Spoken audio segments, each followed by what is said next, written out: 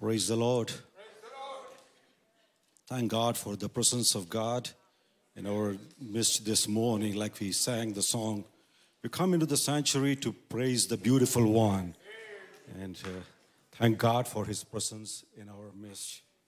Uh, thank God for this opportunity to stand with the Word of God. For our meditation this morning, I'm going to read from Psalm number 84, verses 1 and 2. Psalm number 84, verses 1 and 2. Verse 1 How lovely is your dwelling place, Lord Almighty. Verse 2 My soul yearns, even faints, for the courts of the Lord. My heart and my flesh, they cry out for the living God. Hallelujah. Our heart and our flesh, we are come here this morning in the sanctuary because our heart and our flesh cry out for who? The living God. Hallelujah. The title of the psalm, if you go into the title of the psalm, it's a psalm of the sons of Korah. When sons of Korah are saying, How lovely is your dwelling place, we can put up the verse 1 there. How lovely is your dwelling place. They are longing for the house of the Lord. They are having a deep urge to come into the house of the Lord because they have a deep love, they have an affection for the house of God. In the journey of their life, house of God is something, the dwelling place of God is something very near and dear to their hearts. I'll come back to the Psalm 84 in a little bit, but wanted to take a few moments to look into the background of the generations of Korah. There was something very tragic that happened in their ancestors' life, Korah. Numbers chapter 16 explains the account of Korah, the ancestor father. Korah and a group of people, they rebelled against Moses, and God was very displeased with that. Moses responded and said that I am doing only what the Lord is telling me to do. And we can see that in Numbers chapter 16, verse 28. And Moses said, The Lord has sent me to do all these works, for I have not done them of my will. And God was displeased with Korah and the group that rebelled against Moses. And you know what happened? Numbers chapter 16, verse 31, it says, And the earth opened its mouth and swallowed them up with their households and all the men with Korah with all their goods. As they rebelled, this is what happened, we read there. The earth opened up, and it means the earth opened up and swallowed them. It means that there was a earthquake there, right? We all are aware of the Richter scales. And we know that we in Oklahoma have earthquakes, and the most recent earthquake that was well known in the news was in the East Coast, actually, where if you talk to the people, they felt the ground was shaking and the earth was moving, actually. And that Richter scale was what? About 4.8. Here in this passage, we do not know what is a Richter scale, but we here see that the earth opened and swallowed Korah and the group of people who rebelled. But one thing, the sons of Korah, they did not die during this earthquake. Numbers chapter 26, verse 10 and 11. Numbers 26, verse 10 and 11. And the earth opened its mouth and swallowed them up together with Korah, and they died. But the children of Korah, they did not die. I don't know why it is like that. It is kind of it's interesting that the Spirit of God very clearly said in the previous verse, the other households died, but here the children of Korah did not die. Sons of Korah did not die. We do not know if the sons of Korah did not take part in the rebellion, or maybe they were very small in age not to be involved in the rebellion. Whatever is the reason, they took a different path than their ancestor Korah. Later on, down the years, sons of Korah are praising God with a loud and high voices. We see that in Second Chronicles chapter 20, verse 19. Second Chronicles chapter 20, verse 19. Then the Levites of the children of the Kohathites and of the children of Korathites stood up to praise God, the Lord of God of Israel, with voices loud and high. Hallelujah. Another generation is coming up and they are praising God. Generations of Korah came out different than the father. God is merciful God. Hallelujah. Fathers may do a mistake. Parents may have mistaken, but the sons of Korah did not go in the same path. Hallelujah. They said, We're going to change this. We will be obedient to the voice of God. We will live a life that is right in the sight of God. If there have been mistakes made, ask for forgiveness. Get right with God. God is a merciful God. Generations of Korah, what did they do? They followed God. Generations of Korah, they followed God. How do we know? This Korah might lived a little bit around that uh, later the time of Moses. At that time, much later on, we read about the sons of Korah singing praises during the temple worship and all the kind of stuff. I don't know when they wrote the Psalms, but sons of Korah have written not only Psalm number 84, they wrote Psalm number 85, they wrote Psalm number 87, they wrote Psalm number 88, as well as Psalm numbers 42 through 48, most of them, 42 to 48. How many of you know Psalm number 46? The Lord is my refuge and strength, a very present help in trouble. Psalm number 42, verse 1 As the deer panteth for the water, so my soul thirst after thee. The sons of Korah are following God. Hallelujah. They're not only writing psalms, they are encouraging the congregation, they're encouraging the people of God. Come on, worship God. Hallelujah. In Psalms 48, sons of Korah, they're longing for the house of God. They're grateful to God.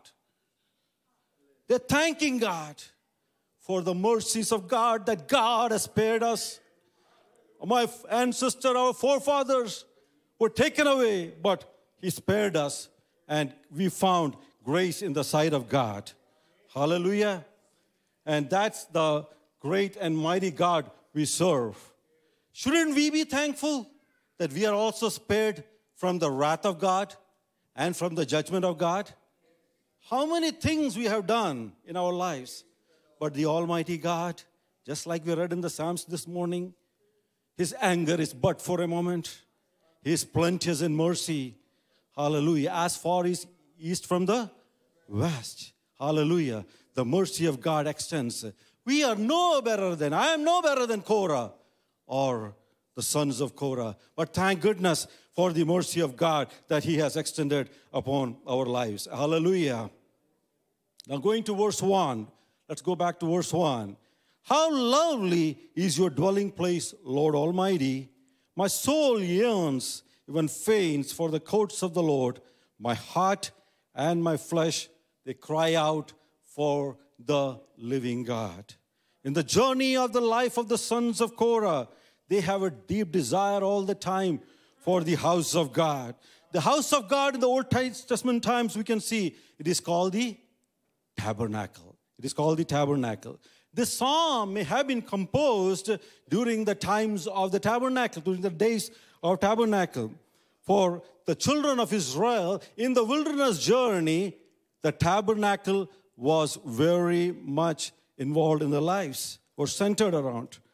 Tabernacle would invoke their thoughts and their emotions. And verse 2, sons of Korah are saying, My soul yearns for the courts of the Lord. Notice verse 2. He says, My soul even faints for the courts of the Lord. Not only yearning, he's so much yearning, he's waiting and waiting and waiting and longing. His heart is fainting for the courts of the Lord. What is the reason the soul yearned for the uh, house of the Lord? What is the reason the soul not only yearned, but also fainted for the house of the Lord? It's in verse 2 itself. We can see verse 2 My heart and my heart faints because they can meet the living God in the house of God. They can meet the living God in the house of God. Because they want to meet the living God, what are they doing? The flesh is crying out for the house of God. Because they want to meet the living God in the house of God, their hearts are crying out for the living God. Children of God, when we come into the house of God, our deepest intention should be what? One and only one. What is that? Cry out so that we can meet God, meet the living God. Hallelujah. So that we can meet the living God. When we come to church, I'm meaning a church at the Lord, our main objective and intent should be meeting God rather than any other program or agenda or anything else. Friends, meeting friends, those are all great. But secondary, that our main thing is that we should be meeting the living God. Hallelujah. Psalmist is yearning for the courts of the tabernacle. When we look at Psalm number 84, he seems to be standing on the outside, he's looking in standing on the outside of the tabernacle and he's looking in. And I'm thinking his thoughts are maybe, Lord, can me, can you please take me past these crowds of people? Lord, can you please take me past this outer gate? Lord, can we take me past this uh, brazen altar? To where? To the Holy of Holies. To see what? To see Lord, I want to see your face. I want to see your face, oh God. I am hungering. I am thirsting for what? To see the face of God. Hallelujah. We know in the Old Testament times, unlike the New Testament times, it was very difficult to come into the tabernacle of God. There were so many stipulations. You go and read Numbers, uh, chapter, book of Numbers and Leviticus. The Gershonites, the Merarites, the Kohathites, they were all assigned different aspects of the tabernacle. The Merarites could not touch the vessels in the sanctuary. The, the Kohathites or the Korah, sons of Korah could not become the priest. It was very stipulated. And it says very clearly if you go and touch any of the things in the sanctuary without the permission of God, you're going to what? Die.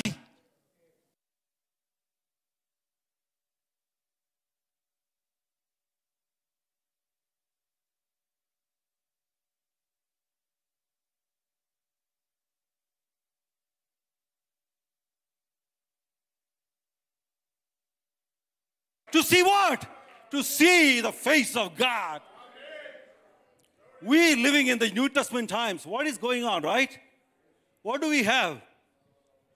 Do we have to take any permission from anybody? What does it say? It says that we can.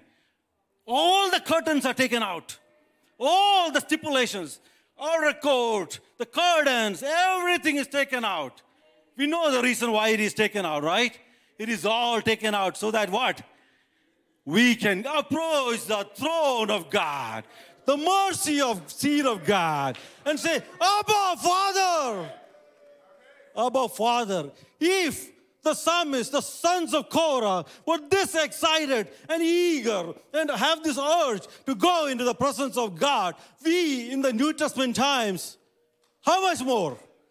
Because all the stipulations are taken out. Come into the courts of God. All you have to do is cry out. Cry out. He's saying that I cry out to the living God.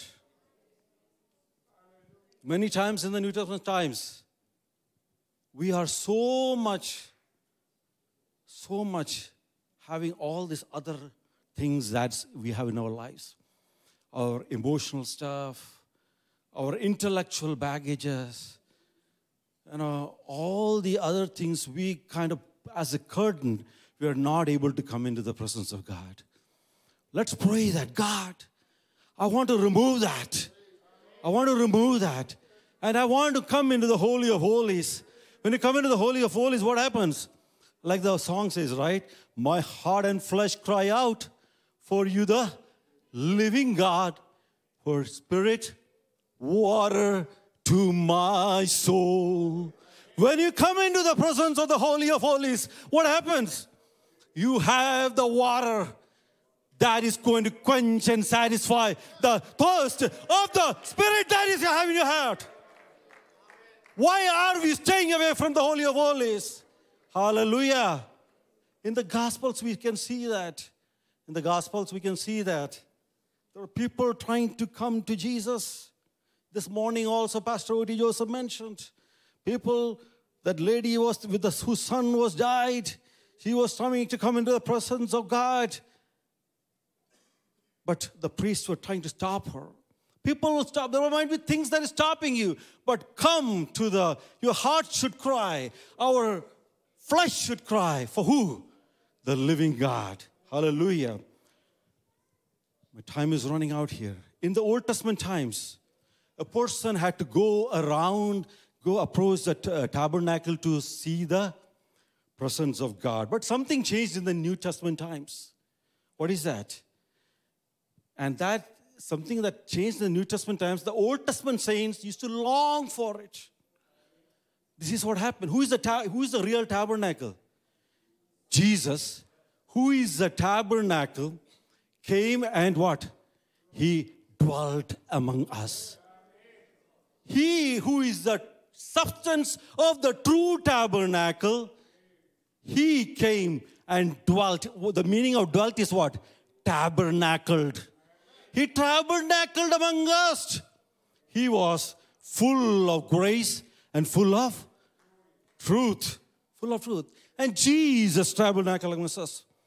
Jesus, the substance of the tabernacle, he not only came down to this earth, he went upon the cross. He who is the substance of all the lambs that had been slain in the tabernacle, he went upon the cross. Why did he go upon the cross? So that you and I, we who are the sinners, will become what? We will become the temple of the living God. Hallelujah.